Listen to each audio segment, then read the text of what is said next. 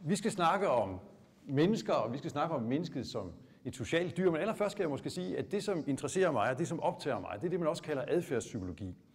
Der er også nogen, der kalder det evolutionær psykologi. Og den evolutionære psykologi eller adfærdspsykologi beskæftiger sig med menneskedyret, kunne man sige. Fordi vi er også et dyr, og vi tilhører primaterne, og vi har mange ting til fælles med dem, men der er også nogle ting, som adskiller os.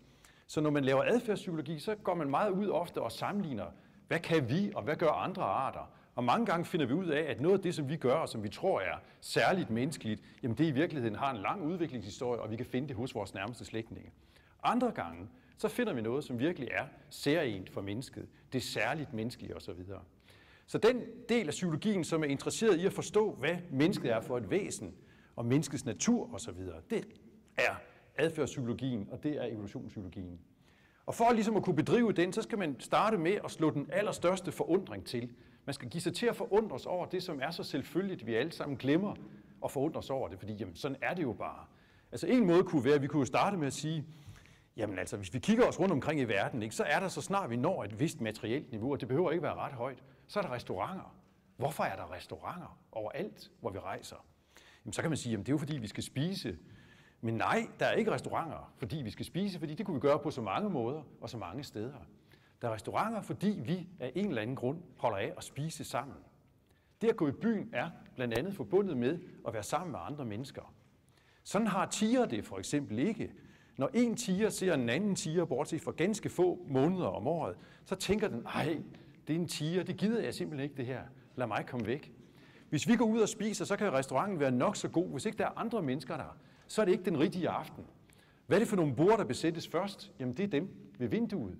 Hvad sker der uden for det vindue? Ingenting andet end at mennesker kommer og går. Men det kan vi sidde og kigge på i timevis, fordi vi simpelthen er programmeret som sociale væsener.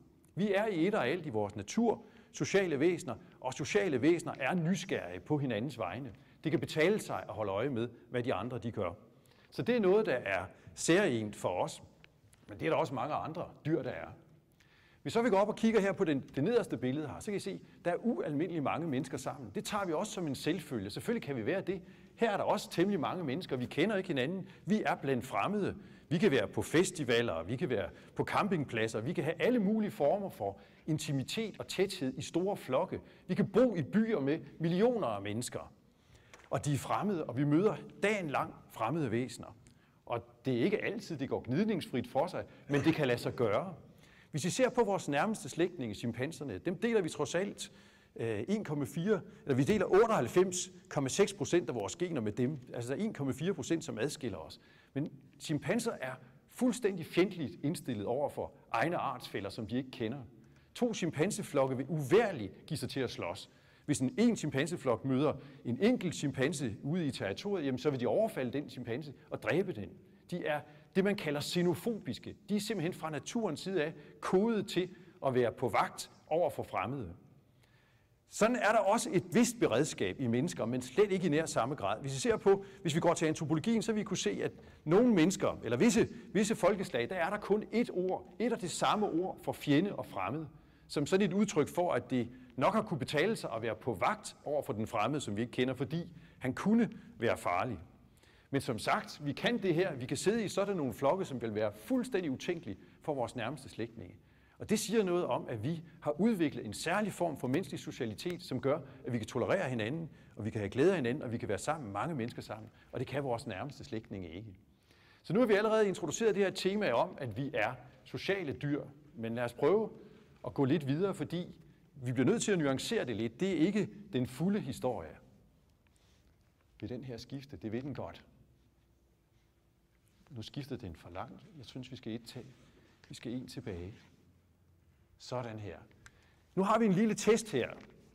Den her lille test, som jeg nu kører for jer, den har jeg kørt mange steder i verden. Jeg har undersøgt grønlændere, jeg har undersøgt finner, jeg har undersøgt danskere i massevis, jeg har undersøgt italienere, og jeg har undersøgt indere og folk fra Kamerun. Så jeg har været rundt omkring i den her verdens forskellige kulturer og klimabælter, og jeg har stillet dem de samme spørgsmål. Og det af dem, det lyder sådan her. Her har du en boghylde, hvor en bog allerede er anbragt. En ny bog skal anbringes. Send kryds ved den plads, hvor du vil anbringe den nye bog. Og verden over, så sætter det helt overvejende flertal af menneskene, de sætter bogen lige her ved siden af. Så er der nogen, som gerne vil være lidt akademiske, og som ikke har så mange bøger, så de sætter, de sætter det nogle gange i hver sin ene religion, fordi så fylder det lidt. Men langt det overvejende flertal, de sætter bøgerne sammen. Det er nu det praktiske. Og det kan vi sådan set, øh, vi kan gå videre, og så kan vi sige, her har vi et glas, her har du en køkkenhylde, hvor der er glas, det er anbragt. Nu kommer der et nyt glas, hvor skal det anbringes inden? Og der siger folk jo også, jamen det skal stå her, alt andet er noget rod, ikke? Så vi anbringer rask væk tingene sammen. Ting organiseres efter et nærhedsprincip. Så er der mest overskud eller overblik over dem, ikke? og så kan vi ligesom bedre øh, overskue verden. Hvis nu vi tager sådan et eksempel her, det er lidt tænkt, ikke? for det, det er lidt for gamle dage. For i dag er der jo ikke sådan nogle køer, der står i sådan nogle båse her, i hvert fald ikke i, i vores del af verden. Men lad os nu lege den her leg. Man kan godt spørge folk om sådan noget som det her. Forestil dig, at du er på en bondegård, hvor køerne de skal føres fra marken til en bås i stallen. En ko er allerede anbragt. Sæt kryds i den bås, hvor du vil anbringe den næste ko. Og uanset hvor vi er henne i verden, om det er i Italien, eller det er i Kamerun, eller hvor pokker det er, jamen, ups. Nu tager vi lige og vender tilbage til den her. Den er altså for hurtig, den her. Uanset hvor vi er, så sætter folk konen her. Så dyr anbringer vi også efter et nærhedsprincip. Men lad os prøve at gå det skridt videre, fordi nu har jeg jo allerede set, hvad der venter. Se, her har du en bænk i en by, hvor en, som du ikke kender, allerede sidder. Du ankommer. Sæt kryds ved den plads, hvor du ville sætte dig. Og det er jo ikke nogen hemmelighed, hvor man ville sætte sig. Vel? Man vil jo sætte sig så langt, som man kunne komme herude. Og sådan bliver bænke besat verden over. Altså, vi søger af en eller anden grund, så sætter vi os ikke her lige ved siden af den fremmede. Jamen sådan organiserer vi jo ting og dyr og så videre. Vi har faktisk lavet nogle eksperimenter, hvor vi lader nogle folk går rundt i byen, nogen som vi har betalt for at være med i forsøget. De går rundt i byen, og de får til opgave, at når der sidder en mand på en bænk, så skal de sætte sig lige ved siden af denne person, og så skal vi se, hvad der sker.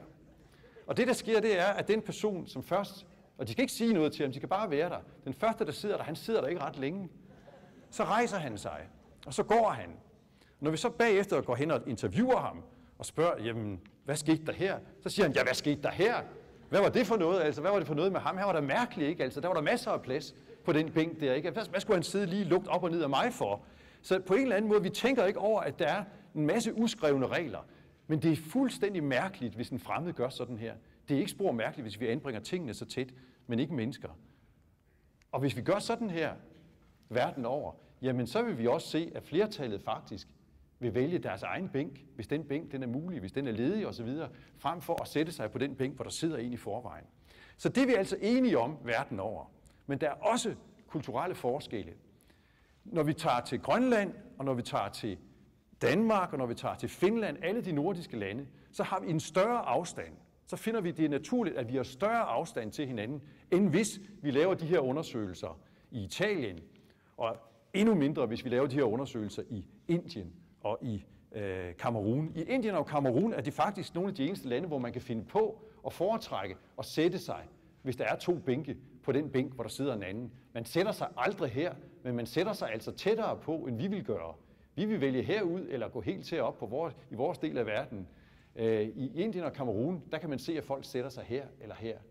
Altså ikke klods op af den fremmede, men dog meget tættere på, end vi gør. Så der er forskellige kulturelle forskelle, som er svære at forklare, øh, hvorfor det er sådan. De rører også mere ved hinanden, jo længere sydpå vi kommer, jo varmere det er, og så videre, end, end vi gør heroppe der. Ikke? Men fælles er det altså, at vi har brug for at have rum og luft omkring os af en eller anden grund. Det er en del af vores menneskenatur, og det er den, vi skal snakke om. Det er den, vi skal, vi skal nærmere ind i det her. Men lad os prøve at tage et skridt videre og se på noget, noget andet. Så sådan kører vi elevator. Det ved vi også, fordi der hænger jo billeder i elevatorerne rundt omkring, eller der hænger kameraer rundt omkring i, øh, i verden, og derfor kan vi jo se, hvordan folk de kører elevatorer. Og det, det er fuldstændig naturligt. Se, her er vi på et fremmed territorium. Elevatorens rum er der ikke nogen, der har lov til at dominere. Så der gør man det, at man forsøger at minimere så meget sig selv og sin fysiske fremtoning. Ikke? men holder sammen på sig selv, ikke? og så kigger man, enten har man blikket indstillet på fjerndistance, selvom man står og glor lige ind i en væg, eller så står man og følger på, hvor langt er vi kommet op og så videre. Ikke? Hvorfor står man ikke sådan her og kigger på hinanden? Det kunne man jo sådan set lige så godt. Vi er jo sociale dyr, ikke? Dybt interesseret i andre mennesker, ikke? Men det har vi også bedt nogle folk om at gøre. Og det synes de andre elevatoren er meget, meget, meget underligt, hvis der pludselig stopper nogen op, og så giver sig til at kigge lugt ind på en. Og det har noget at gøre med, at det der med at have, altså vi stiger ikke på hinanden, fordi det, det har vi altså til fælles med primaterne og sådan noget. Det at stiger en anden intenst i øjnene, det er noget, som er en udfordring. Det er forbundet med en magtkamp og en dominans, ikke? og det, I kan se det, når to boksere ligesom skal legnes op og står foran pressen, ikke? og de er blevet vejet osv., så, så stiller de sig så tæt, som de overhovedet kan på hinanden, og så fastholder de et stirrende blik. Jeg viger ikke for dig, og jeg gør noget, som nu er meget, meget, meget provokerende og meget, meget, meget farligt. Jeg udfordrer dig ved, at jeg fastholder dit blik. Jeg har lavet en hel del øh, primatstudier, blandt andet op i Givskud, og på et tidspunkt så skulle jeg jo præsenteres for den store gorillahan i giveskud Samson, som er meget mere kendt end nogen af alle os, der er til stede her. Han har været i fjernsynet 100 gange. Alle kender Samson, ikke? Og jeg var jo også sådan altså betydeligt imponeret over, at jeg nu skulle møde Samson. Jeg fik jo at vide, nu skal du gå om her bag, og han skal jo ligesom vende sig lidt til dig. Men prøv du nu forsigtigt at gå hen sådan til, til træmmerne. Om bagved, der er der ikke noget glas imellem, der er der nogle træmmer, hvor man sådan kan have en ret tæt kontakt til Samson. Og jeg går jo så hen til ham som det menneske, jeg er. Jeg ved, at jeg skal være i givskud i 8 måneder, hvor jeg skal lave en masse jagttagelser, jeg skal lave en masse eksperimenter. Øh, først og fremmest med chimpanserne, men også med de her gorillaer. Så jeg er jo interesseret, og jeg går helt hen til buret, og så kalder jeg på ham, og så ser jeg på ham, og jeg står jo selvfølgelig oprejst, som jeg står her. Og ikke nok med det, så smiler jeg jo, fordi jeg er jo et venligt menneske. Ikke? Så går der sådan cirka et sekund, og så er jeg dænget til i ekskrementer. Han tager simpelthen, hvad der ligger på gulvet omkring sig, og så kyler han det igennem og, og, og dyrepasserne er fuldstændig syregrin, for de ved godt, hvad der foregår. Ikke? Altså, jeg har simpelthen overholdt, det, det har været så uhøfligt, det jeg har gjort. Jeg har brudt nogle fuldstændig frontale, fundamentale regler for, hvordan man hilser på gorillaer. Ved gorillaer, der står man ikke op. Det er et meget provokerende udfordring. Man sætter sig ned på hug, og så lader man, som om man egentlig ikke er interesseret i vedkommende, så samler man noget op på jorden, så kigger man på det, og så en gang imellem, så lader man ligesom blikket gå rundt, så vi ved, hvor vi har hinanden, men man fastholder ikke noget blik, man kigger ikke i lang tid osv. Når vi så har vendet os lidt til hinanden på den måde, ja, så kan vi få en mere intens kontakt. Jeg begik simpelthen tre kæmpe brølere. Jeg rejste mig op, det gør de kun, når de udfordrer hinanden. Jeg gik hen til ham og kiggede direkte på ham, og så fejl nummer to, jeg smiler. Det er det, jeg tror. Han ser bare, at jeg blotter tænder. Så nu er det simpelthen for meget. Ikke? Den der grimme, magre abe, nu skal den simpelthen på plads. Nu skal den vide, hvem der bestemmer her. Og så er det, man bliver dænget til, hvad der er inden for rækkevidde. Fordi sådan her, det går simpelthen bare ikke. Så her kan I se, at vi har noget til fælles med dem, og der er nogle ting, som adskiller sig. Men sådan kører vi mennesker i elevatorer. Vi undgår frem for alt blikkontakt. Og det er fordi blikkontakt mellem øh, primater er noget, som er meget provokerende, noget, som udfordrer. Men lad os gå lidt videre, og lad os se på nogle, nogle andre ting. Så nu er vi taget til stranden. Og herover har vi en flok søløver. Og sådan kunne vi jo sådan set også indrette os, hvis vi var søløver. Eller hvorfor ligger vi ikke sådan der? Hvorfor smider vi os ikke bare op i nogen, der er store, runde og fede og dejlige og varme og sådan noget? Hvorfor går vi ikke hen til de fremmede og ligger os op af dem? Altså bruger vores, øh, deres maver til at ligge hovedet på og sådan noget. Det kunne vi jo lige så godt gøre. Det kan de her finde ud af. Og så videre. Men det kunne vi da aldrig drømme om at gøre. Hvis man fotograferer sådan en strand for oven, så kan I se, jamen der er meget klare markeringer af, hvor man har et territorium, hvor man har et rum osv. Det vil være meget, meget forkert af mig at komme til at træde på det der blå tæppe, eller det hvide. Jeg kunne da aldrig øh, få lov til at slå mig ned på det der hvide tæppe. Det er der nogle andres tæpper. De har markeret, det er simpelthen deres rum, det her. Og det rum, det skal du ikke overskride.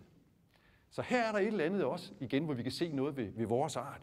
Når vi så tager til vestkysten, hvor vi nogle gange har masser af tyskere på besøg, så kan vi se, at jamen, tyskerne de er ikke nok med, at de ligger et tæppe og sådan noget. De laver også en bunker, de graver, og de bruger flere timer på at lave sådan en ring, som de kan ligge i, og så finder de strandskaller og sådan noget. Ikke? Og så ligger de der, ah, nu ligger man godt. Og så, når dagen den er forbi, så går de jo hjem til deres sommerhus, ikke? og så kommer de dagen efter, og så forventer de simpelthen, at det hul, som de har lavet, det er deres. Ikke? Det er deres territorium. De har, de har simpelthen taget et stykke rum, og så har de, øh, så har de bemægtiget sig af det. Og danskerne bliver voldsomt provokeret, ikke? fordi øh, de er jo sgu da tyskere, og vi må da alle det der en fri strand og sådan noget. Og hvad, hvad bilder de sig ind og sådan noget? Men de gør, I udvikler en adfærd, som vi sådan set også kender. De er territoriale væsener. Og det er derfor, det begynder at blive interessant og mere komplekst. For nok er vi sociale, men vi er også territoriale. Vi insisterer altså på, at der skal være et rum omkring os. At man ikke ligesom bare kan, øh, kan, kan invadere hinandens rum osv. Nu kan jeg ikke engang huske, hvad jeg har på den næste, men lad os lige se. hvad der ligger her. Nå, der ligger det der parcelhuskvarter. Ja, det som du har, har boet i, an og så videre. Det der med, at vi har et rum omkring os. Hvis nu vi ser på for eksempel svaler, hvis vi ser på stæger, hvis vi ser på fugle, og de, de slår sig ned på telefontråde, så vil vi se, at de meget ofte sidder, som vi kalder det, som perler på snor. Der er simpelthen en afstand imellem dem. Ja, der er lige nuagtigt den afstand, som gør, at hvis jeg sidder her, og den anden fugl sidder der, så kan vi lige automatisk ikke røre hinanden. Vi kan lige nuagtigt ikke røre hinanden med næbet. Så man holder altså der en afstand. Hvis vi ser på, hvordan folk de snakker sammen, så kan vi se, at det der territorium, som vi gerne indretter omkring os med tæpper og parceller og sådan nogle ting, det eksisterer sådan set også i luften imellem os. Når to mennesker står og snakker sammen, som ikke kender hinanden, så holder de en bestemt afstand. Og vi har alle sammen kunne mærke, hvis nogen ligesom står for tæt på os osv., så, videre, så trækker man sig et skridt tilbage. Det man ved også verden over, det er, at man, man holder simpelthen et armslængdeprincip. Den anden, han er lige nøjagtig uden for rækkevidde. Den fremmede, som jeg står og skal have en kontakt med, jeg kan lave afstanden meget stor, men så, skal vi, så er det kun, så skal vi stå og råbe hinanden, og hvis jeg går for tæt på, så er det dybt mærkeligt. Så man holder en afstand, som man ligesom mærker sig ind på, og det er lige nøjagtigt en armslængde ud, så vi ikke kan nå hinanden. Ikke? Så det er noget at gøre med os igen. Jamen, vi er sociale, men vi har altså også en eller anden zone, som man ikke må krænke. Og det er en forsigtighedszone, det er en påvagtighedszone, det er noget med at passe på, fordi, som vi sagde før, den fremmede kan også godt være farlig. Så de her parceller, de er meget, meget, meget skarpt markeret. Det er de med hække, det er de med forskellige andre symboler, hegn og så videre, det er de med dørskilte og hvordan man nu ligesom har indrettet sig. Der er meget klar hvis man tog det her, hvis der kom nogle Marsboere og ville studere mennesker, og de ligesom bare så på os, hvis vi bare sætter os ind i en flyver og kigger ud over det her, så kan vi se, der har et eller andet specielt, de har et eller andet for, de der, som indretter sig på den der måde. Det her det er et meget, meget, meget klart signal til for eksempel den Marsbo, som kiggede på os om, at de er jo ikke ligesom søelefanterne og søløverne osv. Ikke? Når de har brug for på en eller anden måde at have noget rum omkring sig. Og det giver altså så også i anden omgang nogle problemer mellem mennesker. Så det vi skal have fat i, det er, at mennesket er et territorialt dyr, men det er også et socialt hierarkisk væsen. Hvad betyder det så? Jo, den der socialitet, den er altså blandet med, at vi også hele tiden har nogle magtkampe kørende om status, om hvem der skal bestemme, at vi uundgåeligt ligesom indretter os med hierarkier, nogen der er over og nogen der er under osv. Og de der ting skal hele tiden ligesom forhandles, eller vi forsøger hele tiden at få en højere plads i hierarkiet, mere status end den anden, fordi det at have status, det giver adgang til ressourcer, og noget af det, som vi alle sammen har brug for. Så det er en forhandling, som konstant pågår. Og det er klart, når nu vi flytter sammen i territorier ved siden af hinanden, jamen så er der også nogle markeringer om, jamen hvem skal have lov til at dominere det her rum? Fordi naboen kan jo meget nemt blive et problem. Han støjer, han roder, han fylder, han snager. Han er på mange måder i vejen for mig, fordi han med sin alene tilstedeværelse ligesom begrænser mit rum.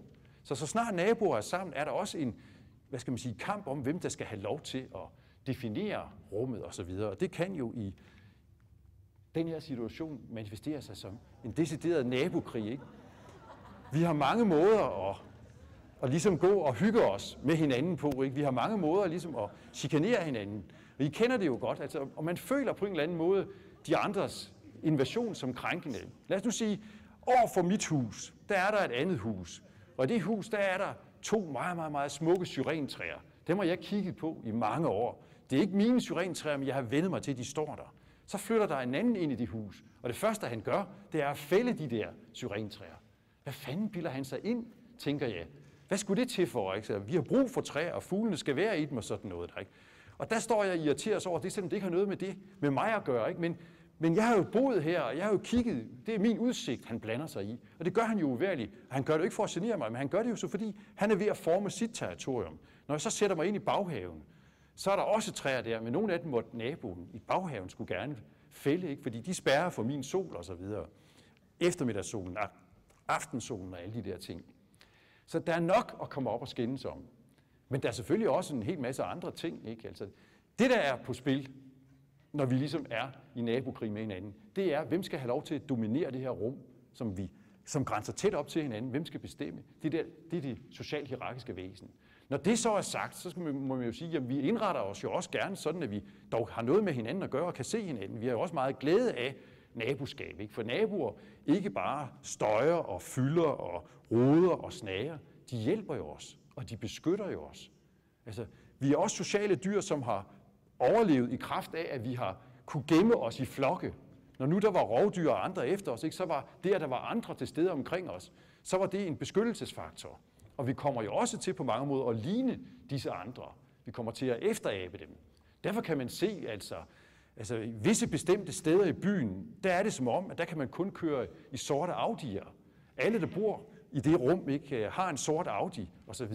Det har de også der, hvor jeg bor. Jeg har så en, en Volvo, men jeg er jo også psykolog, og de er jo ikke øh, helt almindelige osv. Men til gengæld er den sort, ligesom de der øh, sorte Audi'er, så jeg ikke falder fuldstændig udenfor.